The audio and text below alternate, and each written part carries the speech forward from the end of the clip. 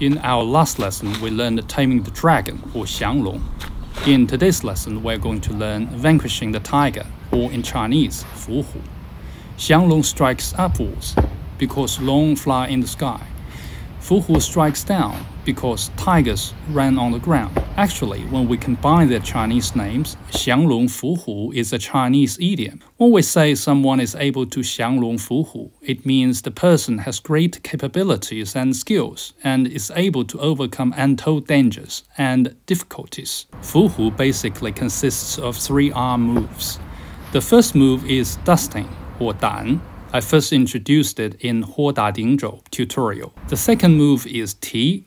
it is an upward attack to hit on the jaw or the nerves and the elbow. The third move is An, which is used to strike down on the abdomen or chest bone after the T strike. Now please stand up and learn with me. As always, before each move, prepare yourself first. If you don't know how to do this, watch my Bajiquan breathing tutorial. These tutorials are designed to be learned as a system. If you skip lessons, you will miss a lot of basic things. First, turn your body to the right. At the same time, raise your left hand and draw a big circle in the air. This is a whole body movement. You have to use your body to lead the arm and the hand. When it reaches the right side of your body, use the Dan move, as if you are dusting clothes. Then, raise your hand high up in front of your body. Push down your left hand. At the same time, stomp your feet together with the back of your right hand striking upwards. This is called T. The three moves must be in sync, pushing down your left hand, stomping at force to your right hand's upward strike. Now, step forward your right foot.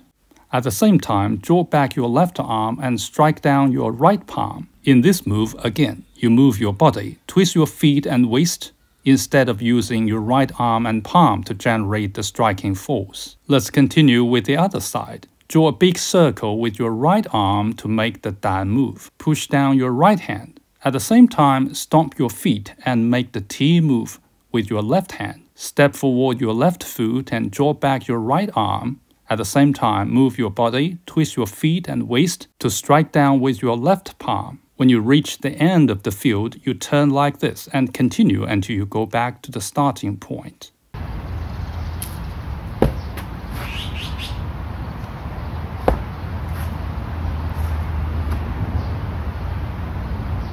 Applications when someone attacks you with a punch, you duck and use the T attack to strike on the nerves under the elbow, and use the An move to strike down on his abdomen or chest bone. The trick here is the same as Cheng Chui. We have to use body weight and twist your feet and waist to generate power. You can also use the T move to strike on your opponent's jaw if the back of your hand is properly conditioned and hardened. Otherwise, hitting on the jaw may cause hand fractures. This will be the final single move I introduce this summer. There have been rains, lockdowns, and hot days.